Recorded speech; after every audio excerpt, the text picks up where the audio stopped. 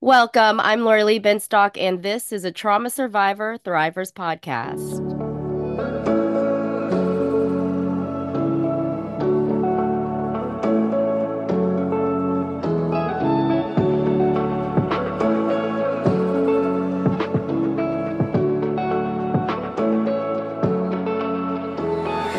For joining us for a Trauma Survivor Thrivers podcast on Mental Health News Radio Network. This podcast is also available wherever you get your podcasts, but I do suggest checking out Mental Health News Radio Network to find all your podcasts related to mental health.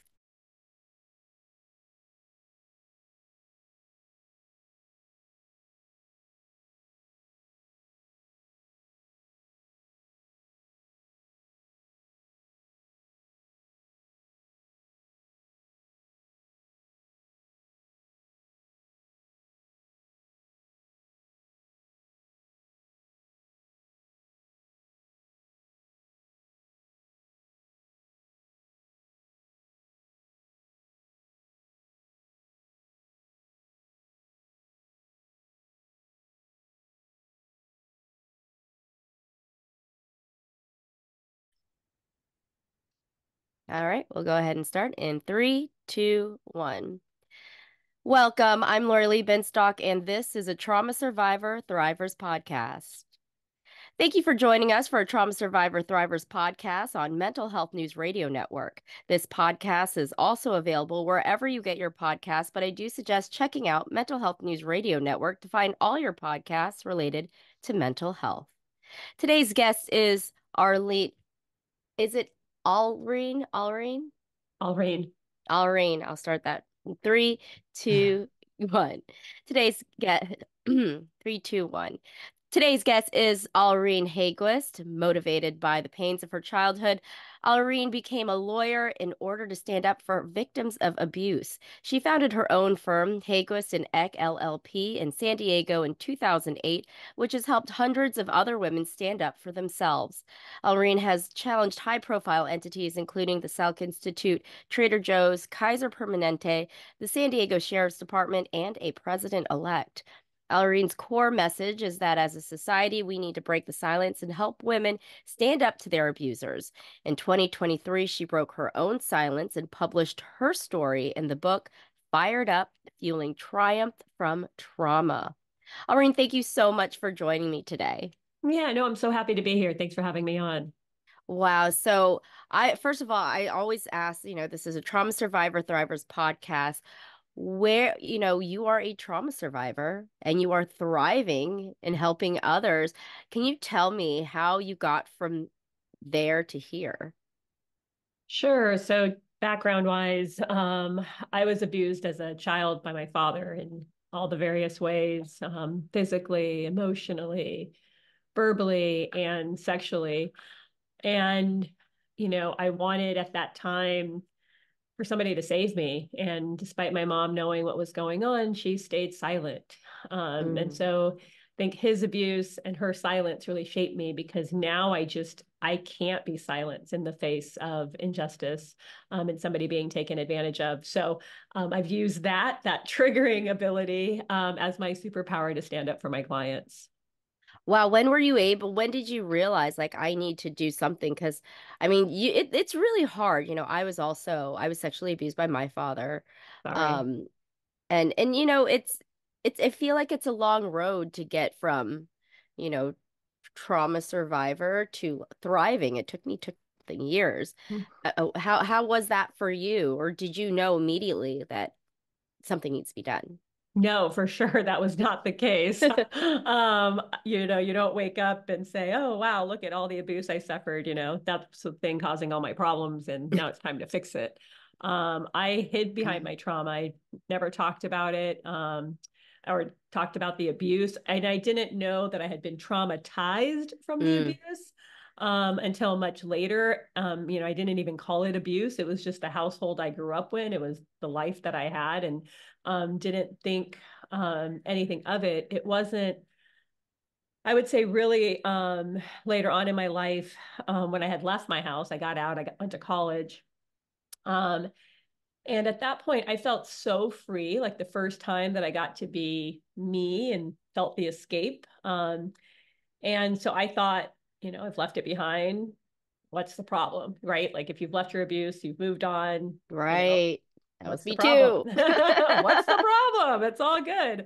Um, but it just started really showing up in relationships and primarily with the relationship with my husband, um, where, you know, he's the most patient, gentle man. And his like if i thought he was you know being manipulative or lying or um, just you know had the wrong tone it would just trigger me and it caused issues in our relationship and then we had a daughter um, and you know i was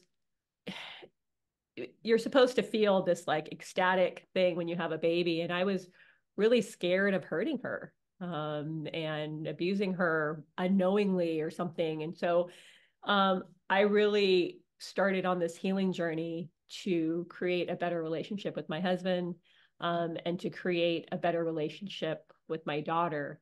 That same thing, I didn't know the way I was feeling was caused by my abuse and, and the trauma I experienced as a result. And it wasn't until I went to therapy and really started talking about it and kind of processing what was going on and things were, you know, given names and and and labels and I was like, "Oh, okay."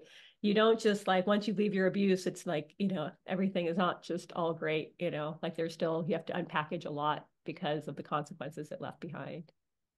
Wow, I feel like you're telling this you're you're speaking and I'm like, yeah, it sounds exactly like my like I feel cuz I felt that. Like I didn't know, like I didn't call it abuse. I didn't know I, this is my house. This is yeah. what this is what my family is like. Um that's so interesting because I think there are probably so many people out there who are thinking the exact same is this abuse? I'd like to think that we're talking about this kind of stuff a lot more where people are like, no, this is abuse. Right. But unfortunately, we're not. I mean, abuse, there's so much shame associated with abuse that we don't talk about it. We're so terrified of talking about it. But I think that's the only way to move forward and change the statistics and to have it stop happening is for us to be able to have this conversation. I mean, the fact that you've created an entire podcast, you know, to talk about trauma and to talk about people surviving from it and then thriving from it, I think is so important. Because when you're going through it you really feel like you're all alone. You don't realize how prevalent it is or that other people are experiencing it. Um, but once you start realizing that that's what i think um, helps you you know let it out and not let it eat you up inside. Wow exactly. Very well said. Um, well, you know, that being said, how did you become a lawyer? Did you know that that was where you wanted to go because you wanted to help other people? It wasn't. Um, so I've wanted to be a lawyer since I was a kid. Um, and, you know, growing up in my dysfunctional household, um, there wasn't um, a lot of role models. You know, I was the first to go to college, first to go to law school. So it wasn't like I was following in somebody's footsteps. Um, but there was a spiritual leader who was a lawyer. And I was like, well, that seems like a good person to follow. And so that's where the idea came from of being mm. a lawyer. Um, and I, I just always said it. I played the game of life with my with my cousin, and I was, you know, always going to be the lawyer in the game of life. And I just um, pursued that. And school was really a place where, um, you know, eh, growing up, you know, I really wanted to be a good kid. I, I thought if I was a good kid and I, you know, didn't speak up and I behaved and I went to church and I did all the things that my parents wanted, um, I could fix everything. You know, I could create this happy, happy life um, for everybody in the house. Um, that wasn't the case, but school was like an out, right? I did well mm-hmm. at it, um, and it I think allowed my confidence to build. And it also made me realize, and this wasn't until high school, but I realized like, oh, I could go to college and get out of the house. Mm-hmm. Right. and so that was like a light bulb uh, moment. Like, and so I, you know, worked even harder, figured out how to apply for college, um, and went to college, you know, again, still on this track of wanting to go to um, uh, law school. When I got to college, I think that's really where I realized that I'm doing it to help people, right? Like where it's like, oh, what does a lawyer do? Oh, mm-hmm. Oh, it, it, helps people. You know, it wasn't just something different than my household. It was a way to help people. Um, and so that I think developed when I got out of my house. Um, and then, you know, I, I, became a lawyer. I've always just helped people. I've never helped business or companies. I've always been a person trying to help, you know, people who have been victimized or abused or taken advantage of by somebody in power um, and in influence. And again, like this was just like a natural thing. I didn't think about, you know, this is why I'm doing it um, until later when I realized wow, this like passion, this is what makes me a good lawyer and why people want me. It's like, oh, like, okay, so if I can use my trigger, which is me getting really fired up when somebody's getting taken advantage of, and if I can mm. hone that in, that's going to make me really powerful. So that is what developed um, as I got into my adult life. I used something that, you know, was looked on negatively, right? The anger that was really built up um, mm-hmm. for people taken advantage of, but learning how to like control that anger and put it into my arguments and using the law to stand up for my clients is what makes me really effective. Um, wow. Because it's like I'm standing up for you with that same rage, but I've like using the law and the rights that you have, you know, to our advantage. Did you have to figure out how to channel that rage? Yes. Like how? Like I'm still working on that. Been a Teach lot of work. I know, right? um, just realizing that it's a lot more effective because right if i start raging at you i'm like the crazy one right, right. but if i'm typically the crazy one. I'm typically the crazy one. So learning recognizing that um, and it you know was a process. So when i would start raging you know learning how to take deep breaths to step away from this situation to feel the the anger in your body like um i get really really hot like my mm, body's yeah. literally on fire. And so recognizing what's going on, taking the deep breath, and then remembering, like, okay, what am I here to do? I know this is, I'm being triggered by my own past, but that's not what we're working on today, right? That's not what we're going for today. This is for my client, and I'm going to be a lot more effective for this woman if I hone in on the anger and present it for what happened to her. So it was a process. I would say I stepping away, feeling it, taking deep breaths um, was the steps that I took to now be able to channel that anger into a positive way. Wow, that that's impressive. That's very impressive because I know what that feels like to just yeah. okay, I can't let that rage like take over because mm-hmm. like you said, you'll look like the crazy person yeah. um who can't control their anger. Um do you so when you're helping when you're when you're working with clients or looking for clients mm-hmm. or do clients come to you and do they know that this is this is your specialty in dealing with um, violence against women. Yeah i mean i think from if they're finding us you know on our website or social channels i think they know that. If they're getting a referral you know they they know that. Um, so i think they know when they come in um, that this is what our specialty is but i don't think until they meet me um, do they realize like what kind of advocate I am, right? Because then they see me talk, they see me how I am when I go up against the other side. And I think that's when a client really is like, oh, okay, I made a good decision. You know what I mean? Like, right. they might know it. I might advertise for it on my website. You hear about it but you don't really know. You don't feel and, they don't feel don't, it until you're in front of yeah. Exactly. Exactly. Wow. Um that and then they're like they're in and they they get like why they want me as opposed to somebody else. Do uh, do you ha- get men who come to you who have also been victimized? Yeah, not a lot. Um so the men that come to us primarily um they have experienced discrimination in the form of their race or their disability um, it's very, I mean, not that we don't have them, but being um, sexually harassed as a man, I would say is a lot less common. Mm-hmm. And they are also seems like it's harder for them to to stand up, right? Because as a man, they should take it, or oh, as a man, they should have liked it um, when they right. were harassed, you know. And so I don't think we we get that many people for that reason. Um, but we do represent men, um, but it's usually for disability discrimination or retaliation cases. How do you talk to, because I'm assuming a lot of these people are very afraid to stand up to their abusers. I mean, do you ever have issues with them wanting to back out? You know, I, I mean, I, I can imagine it could be extremely difficult to to face the person who who victimized them. For sure. And I would say that's every single client that comes ah. in. Yeah. Yeah. They are all very scared to stand up for themselves because of the consequences um, that they're they're worried about either in their family or at their job or how people are going to view them. You know, it's that same shame that we've experienced from going through abuse. They also have that. So I would say every person that comes into our office is afraid. I think what's really powerful is um, you know, when they're standing up for themselves, they get us. They have a whole team because I get you need your people. You can't mm-hmm. go in it alone and you shouldn't have to go into it alone. But what I remind them is that, you know, all of these laws are written to protect you, to help you. As a society, we condemn these acts. You know, as a society, we have all said this is not acceptable conduct. But unfortunately, it happens. And the only way to make a difference is you have to stand up for yourself you find your people to help you. And we have at our office um, a survivor advocate. She's not a lawyer, she's not a therapist, but she's gone through the legal system. She has a ton of training, um, trauma informed training on mm. how to communicate, you know, with people that have been abused and traumatized.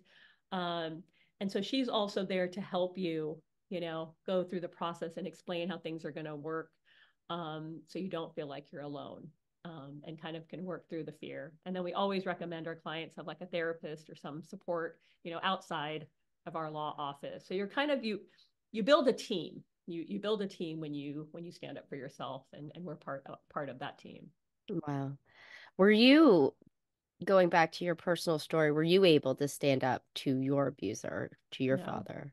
No, no, yeah, no, I never said anything. So, um, my abuse, my sexual abuse, my the other forms of abuse never stopped, but the sexual abuse stopped um, when I was about 12.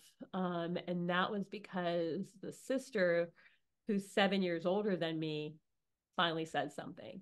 Mm-hmm. And mm-hmm. because she said something, you know, there was that conversation in the family. And that's when I realized for the first time that I wasn't alone. I, you know, right. I thought I was, and I suspected I wasn't because I had seen, um, you know, the way my dad was, but I closed my eyes. And so, but that was the first time we talked about it that he had this, I was the youngest of six girls. Oh, wow. So, yeah. So it was, and the youngest of 10 kids. Um, and so the, the realization that like, wow, this has been going on and it finally stopped because my sister said something um, was really powerful. It's another one of those things. Didn't think about it then, but you know, I know it now. Like, you know, when you say something, you not only help yourself, but you help you know Others. the next group yeah the next group so um so anyway so we did uh, talk about it you know there was that conversation is you know if we report my father he could go to jail and what would those consequences be and so um, even though my sister said something i personally never did to him um, and and the discussion amongst uh, the sisters where it was you know we were just not going to say anything um, and continue to essentially pretend like it never happened, right? Yeah. Um, and buried it there um, and never talked about it after that, you know? Um, and so I would say the first time I'm standing up for myself is by writing the book, right? Yeah. That is that that has been my step. I didn't do litigation. I didn't confront my father about what he did. Um, I wrote a book and I let out, you know, all the things we were we've been keeping inside. Yeah, I wanted to ask, how was that writing your story? Um, it's been it was interesting, I would say. Um, you know, again, you think you have moved past everything, right? Mm-hmm. Like yeah.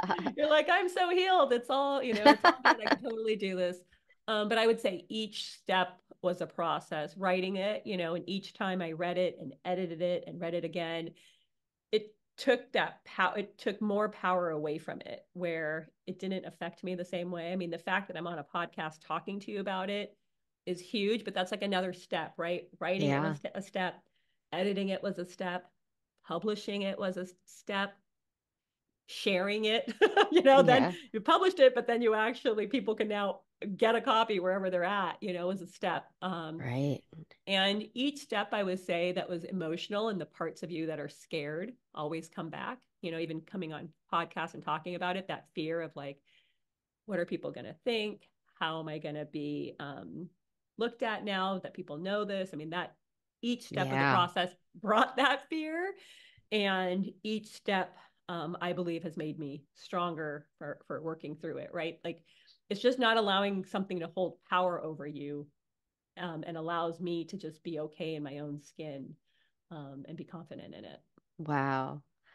Um, do you have a relationship with your parents or even your siblings?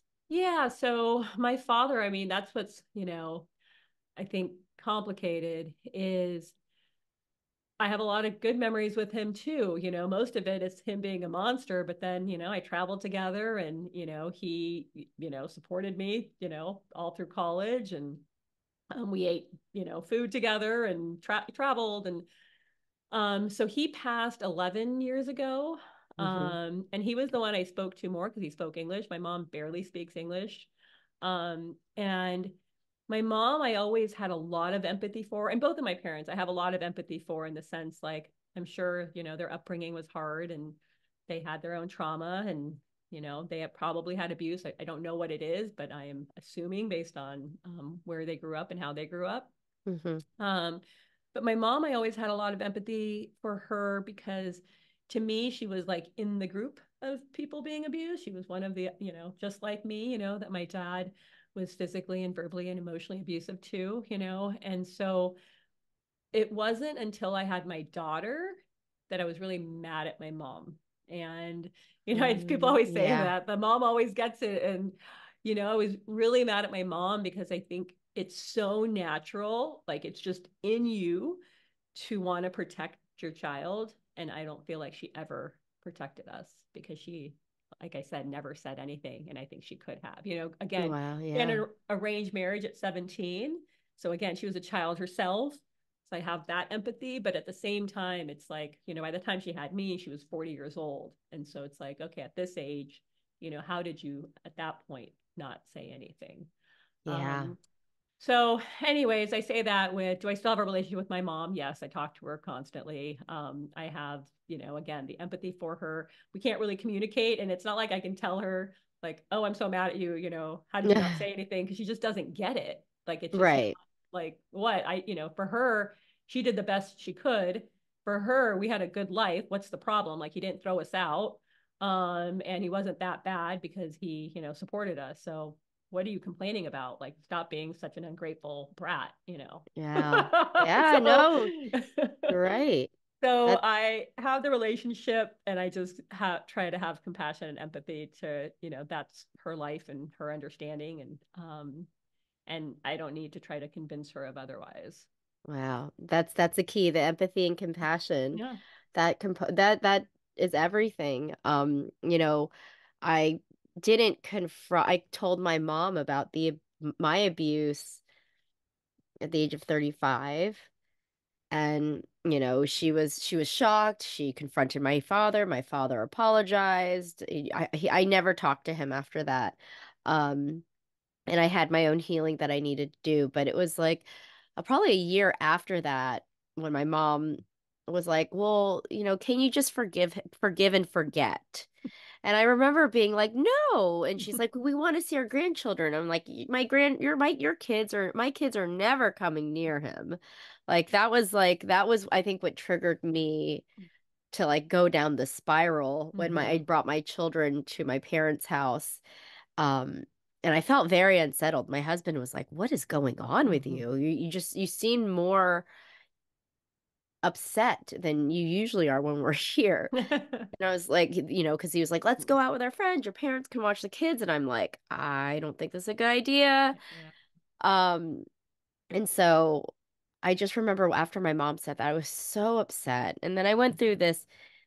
I went through therapy. I went through it was actually psychedelic integrative therapy um with with with um through my therapist and I remember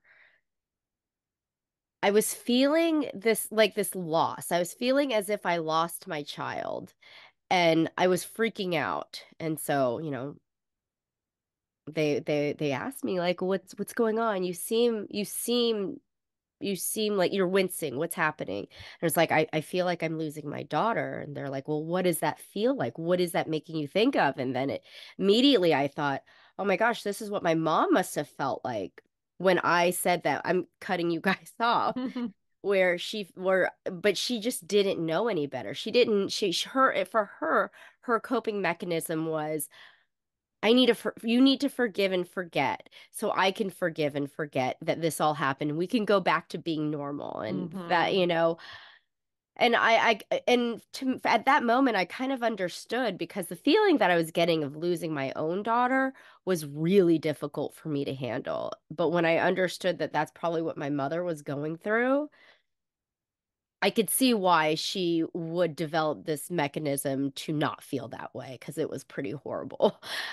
Um, so i I, I, I that that that empathy and compassion piece is so important because I I you know in he, my own healing with my father I learned that he was also abused um, by his father. So it was one of those things where it's like okay I have empathy and compassion for you and your younger self and what had happened to you but I I for my own peace of mind I can't be around it yeah i'm breaking the generational trauma. I am not going to be passing it on to my kids you know and that requires me to do the work. So it is not passed on um, exactly.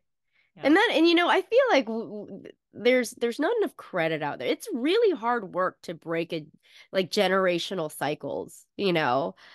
Uh, it's just it's it's really hard work. And i do think it's worth doing because you know this is you don't want to get it have it passed on you know because my dad abused me, you know, that that anger. Like I realized that I had a lot of anger cuz my daughter was like 4 around 4 at the time where I started that when I was started freaking out um about like the like my dad being around and gosh it was just it was just so difficult and I was so angry and that's how I would lash out I would get mad at my children and you know that's when I went into treatment. I went to treatment for like for 31 days and I realized like that was the cycle that I needed to break that that anger.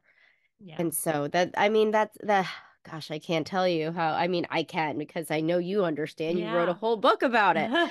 um, yeah, that's the anger like that anger is what it's being caused by is like that's the anger you felt as a kid when you were being abused that's what my therapist reminds me of that's the anger and so mm-hmm. instead of like you couldn't lash out then because as a survival mechanism you kept it all in you kept it right. all, all quiet but now it comes out you know because then your kid especially is triggering because they're your little mini me's you know? exactly exactly they yeah. are your mini me's they yeah. are you know and I and I from my therapist, it, I I was told that you'll probably be triggered at the age that you are triggered when your daughter reaches those those milestones yeah. or that that age. And I was like, oh gosh, I need to I need to really really be prepared for this. Yeah, uh, and it continues, right? So when I first started therapy, just so you know, when I, I was just like, okay, I'm going to have four sessions. I'm going to talk to this therapist. We're going to be good. We're going to right four sessions. That's it. That's it. All I need, you know. um, and of course, you know, I have an appointment with him later today. You know, it just because each phase of your life brings something new up when you had an entire childhood, you know, of exactly. being abused. So exactly, it grow, I, it comes up. yes, it's just the the amount of time like that you've spent in this abuse, like it doesn't go away after like a week of therapy you know it's know. it you know yeah i went to i went through 31 days of therapy and i'm just like of straight residential treatment vigorous you know itinerary of treatment and i still am getting the help constantly it's just, it's really hard when you that was your house. That was yeah. where that was your environment that you that was supposed in. to be the safe space. That was supposed to be where you were safe and exactly. protected, you know, and comforted. Like these were the people that were supposed to be building you up. Yeah. Oh. The opposite. So yeah, it's um this idea of that's where I kind of think people need to change. You know, I know we want immediate satisfaction. I know we want everything to happen right away. I know we lack patience right now in, in today's world. But yeah, the work takes time and it is different for people and not you know it's not a one size fits all you know the therapy that's going to work for you might be different for me but it's like if people could just get started and know it's possible that's the yes. thing it's like you can be different like you can live differently you can have the happiness and the experiences that you've been longing they're all possible they just require work, just like anything else takes work. Um, and it's hmm not this overnight fix or it's not a magic pill. I wish it was. You know, I really do I really do. um, you know, but but it's just going to require work, but I believe it's so worth it. You know, it's worth it for me it, and remembering like why are you doing it? For me, my why was my husband and my daughter. And you then like to me, you started chasing it. Like when you started experiencing feeling better and having better relationships, it's like, oh, okay, I want more of this, you know? And now it's for myself. Like I want to continuously be on this journey because I love, you know, this level of improvement. And it's not like every day, you know, um, you know, you have some like light bulb, but like those moments where it's like, oh, okay, Yeah. I definitely am different and I feel better than I did, you know, last year or whatever it was. So Wow, yes, it's it's it's very it's gratifying and you know this is why there's this podcast, right? It's because people can thrive after trauma and and I and I I can't stress that enough. While it is hard work, just like you said, it's so worth it and it's so worth not passing down that trauma. Yeah, agreed. And that and that's the thing I think that belief and knowing that it is possible, right? It goes back to one of the consequences of abuse and trauma is you believe you're not worth it. You believe it's not possible for you. And that's a consequence of it. And that's it's like but if you start doing the work then you realize you are worth it and you can also have it. It's not that you know you're destined for a life of misery, you know. Right. It's um it's yes those were unfortunate consequences but don't let it you know take every other part of your life Exactly. Very well said. Um, and I know that y your big thing is to not stay silent. Like you were saying, I think I I think it was, I mean, a light bulb went off in my head when you were talking about when your sister said something. yeah And it was like that that's so powerful. And I can't stress enough the importance of, you know, not staying silent um, with your abuse or your trauma, you know, for yourself and uh, clearly for others, as your sister, you know, did for you. Um, so as a lawyer and as a person who is thriving after trauma, can you really talk about the importance of speaking out? yeah i mean i like nothing's going to change if you don't speak out i mean Right. that's kind of the reality of it and so if you want something to change and you want something to be different you have to say something and again i get how difficult it is so i always say like you can start with small steps you know if it means journaling you know you can journal it and at least just get it out from your from your mind. You know you can tell a friend you know you can find a therapist you can find a lawyer. I mean just getting it out doesn't mean like all of a sudden it's going to be public and everybody's going to know about it. It's just taking baby steps for you to confront and address the issue um, so you can start healing again yourself and again if it's happening to other people you know stopping it from happening it again happening again Wow. Well, thank you so much. Is there anything else that you would like to add? you know i always say like don't wait you know life is is short and i think it's so precious and there's so many amazing experiences for you to have um, and enjoy and i think once you can get on the path you know you can have more of those so i tell people you know don't wait um, and even starting you know taking one step you know is one step in the right direction Wow. I completely agree. I know that a lot of my guests, and you know, it's never too late, but the sooner the better, right? You know, there I've had guests who have finally started their healing at age 50 and 60 and and they they realize that they can they wow, I can live this life that I want to and you know, I for you know, the sooner the better, but you sooner the know, you you you can always as you know, when you're ready, you're ready, but I think correct and it's not too late exactly it's it's not not like too late. there's there's not an expiration date. No. It's it's just there's no reason to to not start. Right. There's so many good reasons to start. Yes. And even if it's to write it down, like you said, I like that a lot. Yeah. Well, Alreen, thank you so much for joining me today. I really appreciate your Oh, wisdom and definitely check out her book, Fired Up, Fueling Triumph from Trauma, her personal story. And I just learning how to channel it. I love that you're doing it. Just you're really you are the epitome of a trauma survivor thriver. So thank oh, you. Thank you. Thank you for having me on and thank you for sharing um, your own story as well. Absolutely. That was Alreen Haeggquist, lawyer and author of Fired Up Fueling Triumph from Trauma. For more information on Alreen, check out the show notes.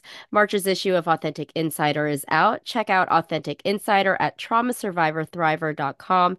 That's traumasurvivorthriver.com, as well as the past episodes of a Trauma Survivor Thrivers podcast. If you haven't already, please subscribe to my email list to get Authentic Insider in your inbox monthly. We will be back next week when I speak with Jennifer Chesak, author of the Psilocybin Handbook for Women, when we discuss how psilocybin can benefit your mental mental, physical, and spiritual health. You've been listening to a Trauma Survivor Thrivers podcast. I'm Lori Lee Binstock. Thank you so much for being a part of the conversation. Take care.